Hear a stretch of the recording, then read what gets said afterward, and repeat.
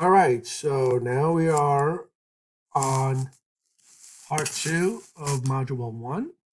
So to continue, let's talk about the common types of networks. Remember, I'm going to ask you to take notes, right? And submit them as homework. So there are four types of networks. There are the small home, small office, home office. You can have a medium, large, something like on campus, or the internet, a worldwide connecting networks connect to each other. All right, so let's talk about LANs and WANs. A local area network is where all the devices are connected to each other and you can, and you know, you own the devices with the wiring. If you need to communicate with, this is what a local area network is.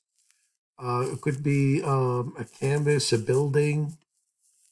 Um, but when you need to communicate with another branch somewhere else, and you need to pay a service provider to allow you to connect to that other LAN, then you are going through a WAN, wide area network. So, what is a, LAN? A LAN is when all the devices are connected through either a switch or an access point in a building on a canvas where the um, the organization own all of these devices and the media that connects all of these devices in a private um, network.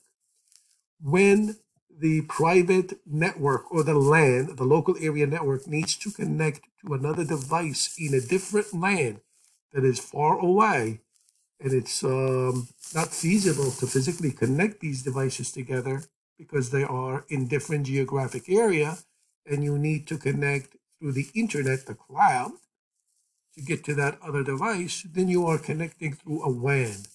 So wide area network is the connection of one LAN with another that are located in different geographic areas. All right, so uh, please write these definitions. A LAN is a network infrastructure that spans a small geographic area, like a building. But a WAN is the one that spans a wide geographic area when you're connecting LANs together. And who connects LANs together? Routers. Who connects the devices, the end devices in a LAN? The switch. All right? So just write the definition of these so you'll know. Also, I want you to write down that the switch is the device that connects the end devices together in a LAN, and the router is the device that connects the LANs together, the LANs that are in different geographic areas. All right, the internet can be considered as multiple LANs that connects to each other, and these are public um, publicly local area networks. It could be yahoo.com, eBay, whoever wants to connect. This is the cloud. This is really could be layer three switches or routers that connect, you know, when you was you would so what you would do, for example, if you are at home, you send your data to an ISP. The ISP will then throw you on the LAN, and the LAN will find a path to wherever you need to go to.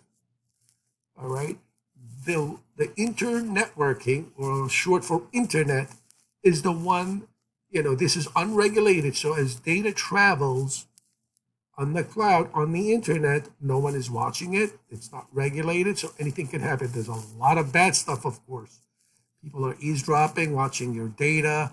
There's a lot of viruses and a whole bunch of other stuff. That's one of the reasons we have to protect ourselves with firewalls, IPSs, anti-malware software and so on to make sure we control what data goes in and out of our network.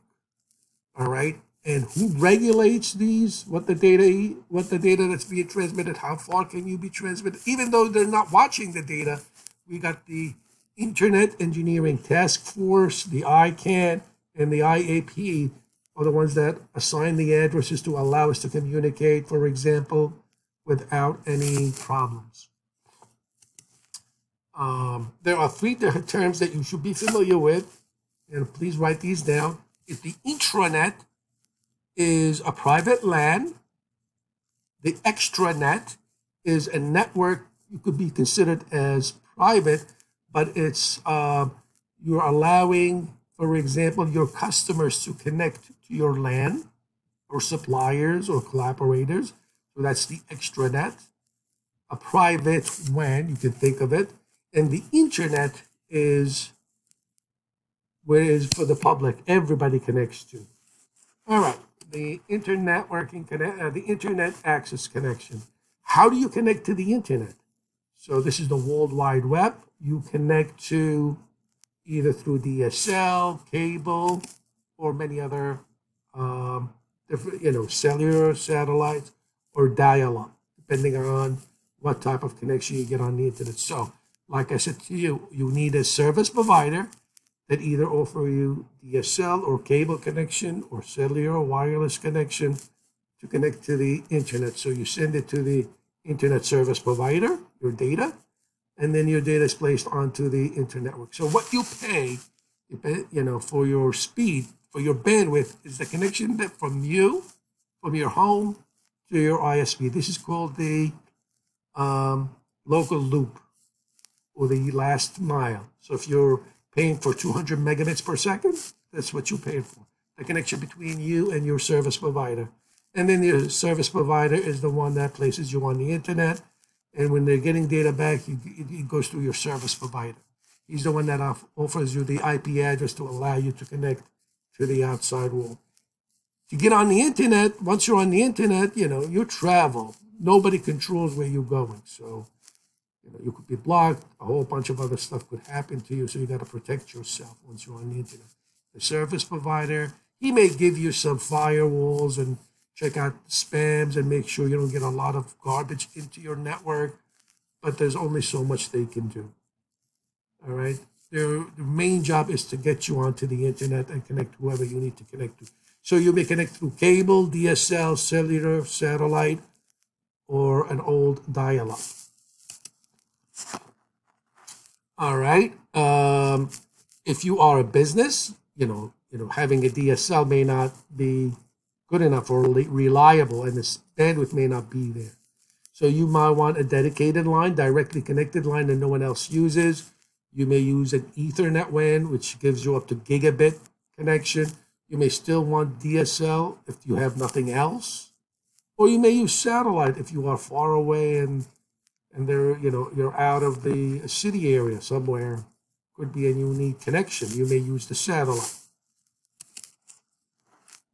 convergent networks. Convergent networks in the old days we, we used to have we used to have a service for every type of uh, connection that we wanted. For example, if you wanted telephone, you would call the telephone company to gives you a line. If you wanted data, then you would call a different service provider. If you want video, you call the ser- different service provider. So when we put all of these different connections together, that's called we're converging the data. We're taking data, voice, and video connecting on the same network. So they are all going to be packaged the same way. The only difference is going, each one will have a different label indicating what type of data it's inside. So we're all traveling together on the same wire, but with different um, labels on us to identify who we are. So that's a converged network. We no longer need a separate line for each of those services. All right. So please write this down. A converged network can deliver data, voice, and video over the same network infrastructure. Write that down. All right. We'll go over the packet tracer in the classroom. We don't have to worry about that for now. All right. Now, how do you make sure that your network is reliable? That means one of the most important jobs that you will need is to make sure that your network is always up and running 24 7. So you have to set up, write this down to make the network reliability or the network architecture, uh, the reliability of your network. So, number one, you need to make sure that you have fault tolerances. Fault tolerances means that you need to have some backups just in case something goes wrong and automated backups, which we'll be able to learn down the road on how to set that up in case a link or a cable breaks or uh, a switch goes down, your default gateway, even a service provider as a backup. You need to have that. Scalability. Scalability means you want to be e- you want to expand your network easily. You don't want to go through a hole and rip off the whole design of your LAN because you need to add another, you know, 100 users or so. So you should be able to expand your network without any problems. That's scalability. Security. Make sure that all of your devices are well secured and your network. So when you expand, you don't compromise anyone else. And quality of service. You need to make sure you know which um, which services on your network uh, are more important than others. For example, or should cannot tolerate delay. So you should be able to separate switches, routers should be able to know the type of data that's being transmitted. Is it a voice? Is it data? Is it video? And which is, has more uh, importance than others to be able to to to, to, uh, to traverse the network.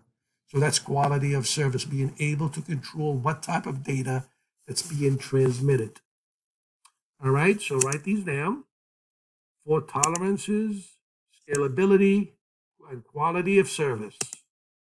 And network security, of course. You got to make sure your network is secure. So we'll spend plenty of time on all of these four different topics throughout semester. All right. The network trends that are today. More and more um, organizations will require their um, their users to bring in their own devices instead of oh, you know you may bring your laptop, you may bring your phones, you may bring your tablets, and they'll set up software on your tablet or your phone or any device that you bring in to allow you to connect to their network. And that's of course going to bring a big headache for the system administrator because they want to make sure that security is the number one. So all of these devices have to meet certain criteria before you allow them to connect to your network. So that's what bringing your own device means. Unlike collaborations, video communications nowadays, cloud computing, which we'll also discuss in details as we move along. All right, so online communications, being, you know, if you have an online classrooms or anything like that, um, video communications. You no longer have to travel across the country to be able to meet. You could do that um, in your office settings. You can use Cisco WebEx, and there's plenty of other video um, communication protocols that are out there. Cloud computing is instead of really saving your data locally or uh, or installing software locally on your machines, you get that right off of um, the cloud, the internet. It's much cheaper and um, more secure, and you don't even have to do, worry about maintenance and controlling it. So through Microsoft Azure or Amazon Web Services, you'll be able to do that. Again, we'll discuss that in details as we move along. Uh, there are different types of clouds, but we'll again we'll talk about that uh, when we get to when we get to that. Well, when we get to the cloud computing part of the lecture. All right, um, power line networking. If, for example, you uh, you may use the wiring uh, for your electricity wiring in your home to pass data to each other, uh, to pass data without having to run the wires. Um, but that's only if they are on the same circuit board. Um, not a lot of people do it, so I don't know. Some, sometimes, for example, if your wireless router is in a place and you can't reach it, so you may use the power line, a quick way of getting there. Uh, wireless broadband. When you have a wireless network at home, you may use DSL.